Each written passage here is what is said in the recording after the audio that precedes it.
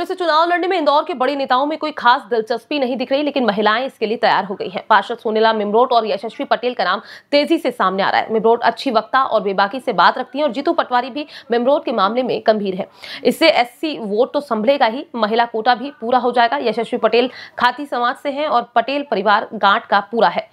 कांग्रेस की केंद्रीय कमेटी की आज दिल्ली बैठक में इंदौर का भी फैसला होना है, जिसमें प्रदेश की 18 सीटों के टिकट तय किए जाएँगे। गांधी भवन में बैठक के दौरान ज़्यादातर बड़े नेताओं ने चुनाव से इनकार कर दिया है। प्रदेश अध्यक्ष पटवारी को उतारने पर कई नेता उतारू हैं, लेकिन पटवारी के जिम्मे प्रदेश का चुनाव है। सोनीला मेमरोड सोशल वर्कर हैं और पढ़ी लिखी हैं। बैरवा समाज से हैं, परिवार की पेट है। नेता प्रतिपक्ष चिंटू चौकसी की तरफ़ से भी हरी झंडी है। वे खुद भी चुनाव लड़ने को तैयार है, लेकिन मेमरोड का नाम आने से साथ में खड़े हो गए हैं। चुनावी कमान संभालने का वादा भी कर रहे हैं। एनएसयूआई के पूर्व शहर अध्यक्ष अमित पटेल भी पार्षद पत्नी यशस्वी पटेल का टिकट चाहते हैं। खाती समाज के ज़िले में काफ़ी वोट हैं। पटेल परिवार की भी समाज में खासी पेट है।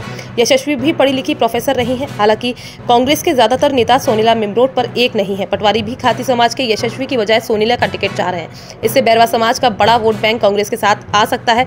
विनीतिका यादव का नाम भी चला, लेकिन बताते हैं कि दीपू की मंशा नहीं है। विनीतिका तीन बार से पार्षद है। कांग्रेस से इन महिलाओं के अलावा जो टिकट मांग रहे हैं, उनमें चिंटू चौक से मोती सिंह पटेल, अरविंद बागड़ी और अक्षय बम के नाम है। इंदौर से राजीव टाइम्स की रिपोर्ट।